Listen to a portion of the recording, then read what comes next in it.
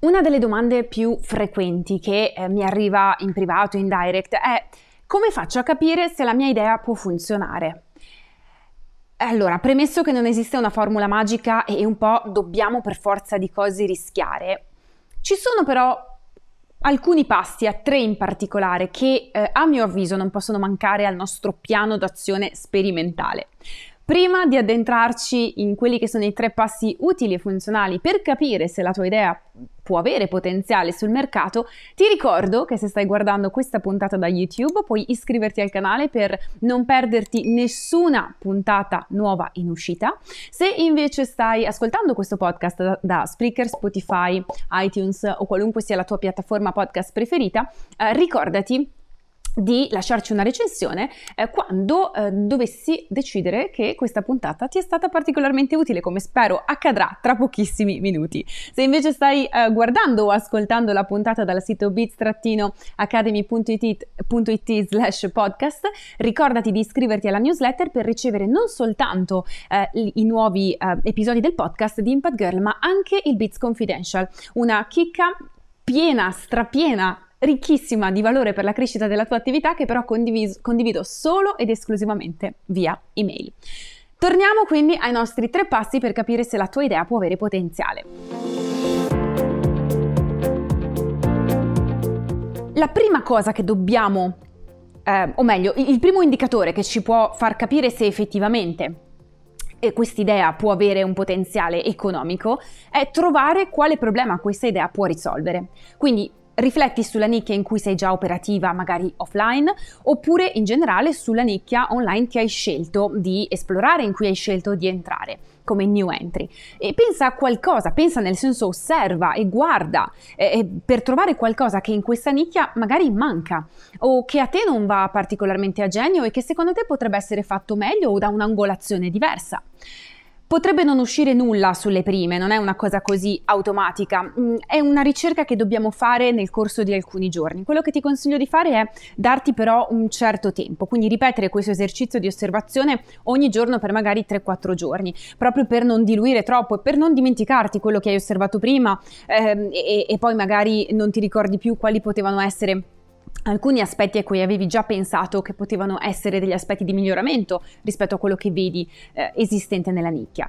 Perché un'idea funzioni, qualunque idea, è cruciale che aiuti a risolvere un problema o a esaudire un desiderio. Spesso sono due facce della stessa medaglia, a volte eh, un prodotto non risolve un problema ma riesce ad esaudire un desiderio. Pensiamo ad esempio, non lo so, ad una borsa di marca, non è che necessariamente risolve un problema, però sicuramente esaudisce il desiderio di acquisire eh, agli occhi esterni un certo status sociale. Eh, ma la maggior parte però dei prodotti in ogni caso aiuta a risolvere un problema. Sarebbe meglio se questo problema fosse mm, qualcosa che riusciamo a trovare. Quasi ogni settore ha spazio per nuove idee che comunque possano eh, riuscire ad aggirare una sfida esistente, sia nel caso di prodotti fisici sia eh, nel caso di prodotti digitali. Ad esempio, parlando di prodotti digitali, per Biz Academy, eh, quindi in particolar modo per la membership di Biz Academy, ma anche per i corsi singoli come Digital Revolution Kit oppure Copy Workshop, il desiderio di chi arriva è quello di conoscere il digital marketing nel modo più efficiente. Nessuno ha voglia di perdersi in uh, mille corsetti superficiali che sono creati solo in funzione di una vendita successiva e quindi in realtà non ti danno mai il quadro completo, ma nemmeno magari spendere un patrimonio in un corso di formazione specialistica che dura sei mesi e che ehm, uno non ha nemmeno tempo di fare o che magari ti renderebbe esperta in una sola cosa senza però capire come quella singola cosa va ad integrarsi con il tutto. No, in qualità di imprenditrici chi arriva a Biz Academy vuole sapere solo quello che è davvero necessario sapere per far crescere la propria attività sul web, avere tutto in un unico posto con una guida qualificata e soprattutto presente che è pronta a rispondere ad ogni dubbio. Quindi trova il problema che vuoi risolvere e non fermarti fino a quando non l'hai trovato. Lo step numero due. Osserva che cosa esiste già. In realtà questa è una prosecuzione dello step numero uno. Quindi una volta che hai identificato il problema che vuoi risolvere, prova ad individuare almeno tre prodotti, tre offerte già presenti sul mercato che si avvicinano a quest'idea e prendi nota che cosa ti piace, che cosa non ti piace, che cosa tu pensi potresti fare diversamente, che cosa magari dicono se ci sono delle pagine con delle recensioni, che cosa dicono queste recensioni, sia quelle positive che quelle negativi, negative. Ora, questa fase della ricerca non ha lo scopo di perdersi in inutili confronti, che poi um, sono un po' un automatismo che avviene soprattutto se entri nella, in una nicchia e sei completamente nuova, quindi ti senti anche piccola rispetto a tutto quello che c'è là fuori. No,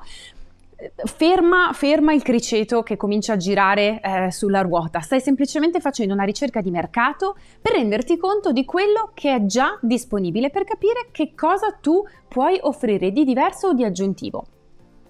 A quel punto, una volta individuato qual è il tuo um, il, il, problema che puoi risolvere, una volta individuato che cosa c'è già là fuori, per renderti anche conto di quali sono i prezzi di mercato, di quali sono i feedback delle persone che hanno già acquistato qualcosa di simile e che quindi sono inevitabilmente i tuoi potenziali clienti,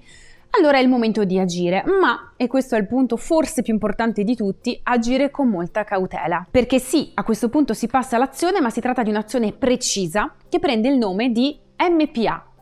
o MPF, poi ognuno può chiamarlo come vuole. MPA sta per minimo prodotto accettabile, MPF è minimo prodotto fattibile, vogliono dire la stessa identica cosa,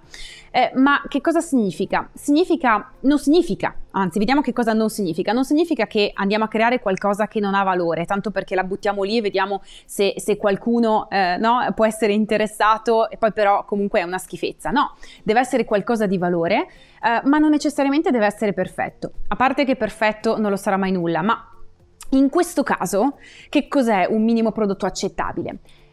è quel qualcosa che eh, rappresenta la minima versione accettabile che ti soddisfi in qualità di um, fornitore di un servizio e che pensi possa quindi soddisfare anche chi lo riceve. Quindi una versione non particolarmente articolata, non necessariamente ultra eh, completa, che fornisca però il giusto valore eh, rispetto ovviamente alla promessa che tu fai e che lasci poi chi riceve questa cosa con eh, un sorriso stampato in volto. Quindi l'obiettivo è sempre la soddisfazione ultima del cliente.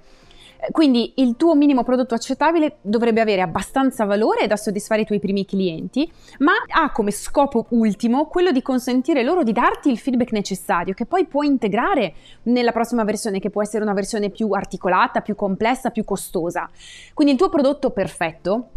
nasce dal, da queste integrazioni eh, che, eh, dei feedback che avrai ricevuto nella, nella, versione minima di questo stesso prodotto. Quindi facciamo un esempio concreto perché eh, così non ci perdiamo in inutili parole. Supponiamo che tu voglia lanciare un videocorso di uh, 10 ore su un dato argomento perché vai a coprire tutto o magari ho visto anche corsi che durano tanti mesi, ok? Corsi magari fatti come prima offerta. Ecco, ehm, l'ultima cosa che vuoi fare è eh, proporre come prima mh, offerta su, sul mercato per farti conoscere per la prima volta una cosa eh, enorme, una cosa gigantesca che inevitabilmente andrai a apprezzare con un prezzo particolarmente alto perché è giusto che sia così visto che è una cosa super completa, super ricca di, di informazioni eh, o di valore pratico, ma ehm, e, e diven- diventa complicato poi per chi c'è dall'altra parte e ancora non ti conosce perché magari non hai ancora un brand eh, consolidato riuscire a, a Uh, affidarsi, certo puoi metterci la garanzia, puoi metterci tutto quello, anzi devi metterci la garanzia e, e, mm, tutto quello che vuoi nel tuo ecosistema, resta il fatto che sarebbe molto più semplice e meno dispendioso sia in termini di denaro sia in termini di energie, di tempo vere e proprie, eh, andare eh, con i piedi di piuma, quindi invece che di piombo, e provare a preparare una mini versione di questo corso, lanciare prima quello, capire che cosa effettivamente interessa, se interessa capire che cosa interessa in particolare e se funziona allora andiamo a completare con la versione più ampia. Tan- tanto più che in questo modo, se ha funzionato il, il, la minima versione, chiamiamolo il mini corso, quindi la mini, la mini versione accettabile di, questo, di questa offerta più ampia, tu avrai già dei clienti prontissimi, già dei clienti soddisfatti, prontissimi a fidarsi ulteriormente perché hanno rischiato un pochino con te hanno visto che effettivamente eh, non eri aria fritta. Altrimenti se il, minima, um, il minimo prodotto accettabile non dovesse funzionare, non ti scoraggiare, chiedi feedback, usa questo feedback per reiterare quello che avevi in mente, facendo in modo che sia perfettamente allineato alle esigenze del tuo cliente ideale. Quindi Qualunque cosa tu voglia lanciare sul mercato, un programma di coaching, un evento live, un'app, eh, che sia un prodotto fisico, concentrati prima di tutto sulla sua minima versione accettabile o fattibile. Ok, questo è molto più facile per eh, i corsi digitali, i prodotti digitali naturalmente, ma è fattibile anche per quelli fisici. Questo è tutto per la puntata di oggi, spero che ti sia stata utile e spero naturalmente di saperlo tramite un commento sotto al video di YouTube o sotto al video del blog da dove stai guardando il podcast oppure attraverso una recensione che spero ci lascerai su Spreaker, Spotify, iTunes o qualunque sia la tua piattaforma podcast preferita. Noi come sempre ci vediamo o sentiamo alla prossima puntata di Impact Girl. Questo è tutto per la puntata di oggi. Spero di averti dato qualche utile spunto che potrai implementare sin da subito. Se crescere un business in cui credi sul web in modo autentico e proficuo è parte dei tuoi piani e non sei ancora entrata a Biz Academy, puoi farlo visitando il sito biz-academy.it. Noi come sempre ci sentiamo o vediamo alla prossima puntata di Impact Girl.